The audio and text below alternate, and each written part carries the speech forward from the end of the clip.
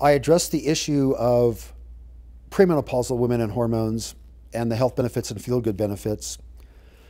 Unfortunately, postmenopausal women also need hormones and it falls between the cracks. So let me explain a little bit as to why it falls between the cracks, why your physician will not understand what I'm about to explain to you.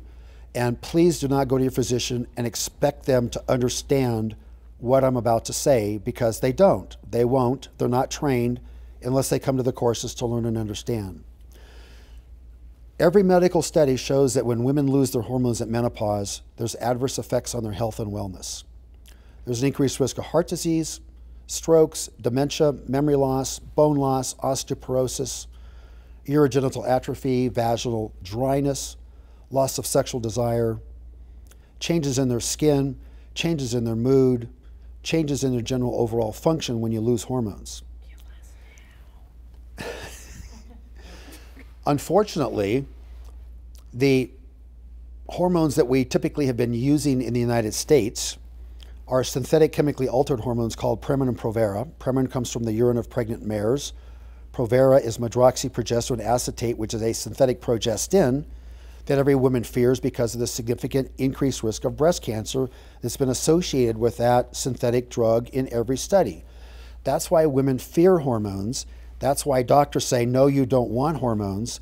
That's why doctors don't want to prescribe hormones. And that's unfortunately why women are now suffering because they're misled to believe that hormones cause harm and damage. True, Premarin and Provera have been associated with increased risk of blood clots, heart attacks, strokes, and breast cancer. I don't use Premarin Provera. I don't recommend that anyone does but I recommend replacing the hormones that you lose at menopause. The menopausal hormones that you lose that we replace are estradiol, progesterone, and testosterone. There is no study anywhere in the world in 40 years showing any harm with replacing estradiol. Premarin, yes. Estradiol, no. There's significant harm, increased risk of breast cancer and blood clots with Provera. There's absolutely no increased risk of blood clots or breast cancer with progesterone. In fact, Natural progesterone, the medical term is micronized progesterone, has been shown to protect against breast cancer in every study. You would think that the OBGYN world would jump on all this data and all this literature showing breast cancer protection with progesterone. They don't because it's not patented and there's no drug company to support it because it can't be patented because it's, quote, natural. But yet there's a plethora of data and studies showing the safety and efficacy of estradiol and progesterone, which we call female hormones, that have not been shown to be harmful, but can result in significant improvement in hot flashes, night sweats, sleep dysfunction, depression, mood swings, vaginal dryness, urogenital atrophy, chronic urinary tract infections, heart disease, which most women don't have to worry about because they can't conceptualize that it's the estradiol that protects their blood vessels in their brain and their bones from deteriorating. So there's tremendous health benefits to replacing female hormones. Just replace the right ones. Don't replace the wrong ones or the harmful ones, and don't extrapolate them to be the same. If you go to your doctor and say, Well, what about hormones? they'll say no. And then you'll ask, What about natural hormones? Oh, no, they're bad. They're, they're, they're all the same. They have no clue or understanding of the difference. That's why we have these training courses where we train physicians to know and understand the difference. So, for women that are suffering, women that think they know or they understand that they need hormones, but they can't turn to their PMD or their family doctor because the family doctor doesn't know or understand hormones, then go to the WorldLink site and look up a physician in your area that's been trained. Last but not least, when you go through menopause, you lose three hormones. Estradiol is the first one, progesterone is the second one, and testosterone is the third one. It's not just a male hormone, it's a female hormone too. When women lose testosterone, they lose sexual desire, libido, energy. They become fatigued. They gain weight, they lose muscle, they lose strength. They gain fat. That is all reversed when we replace testosterone. It's the third hormone that women's ovaries make, and most doctors have no or understanding as to how to measure it, monitor it, adjust it, or prescribe it. And don't ask your doctor for it because you'll be severely disappointed. Sorry, they're not trained or educated as to what it is, how to prescribe it, monitor it, or adjust it.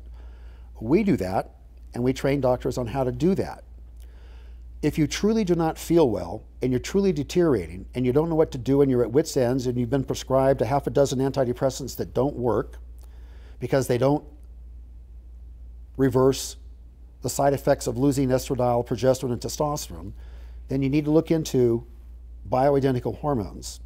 There's books, there's pamphlets that we offer for patients to thoroughly read and get a better understanding of what hormones are, what happens when you lose them, what happens when you replace them, how to replace them adequately, and going to a physician that understands hormones is of extreme importance.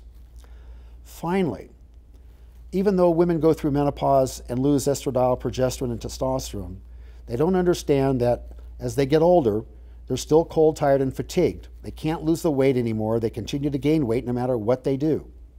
They don't feel well. They're depressed. They're anxious. But they go to the doctor and they say, I think it's my thyroid. And the doctor says, It's not your thyroid. Your thyroid test is perfectly normal, which it is in most women.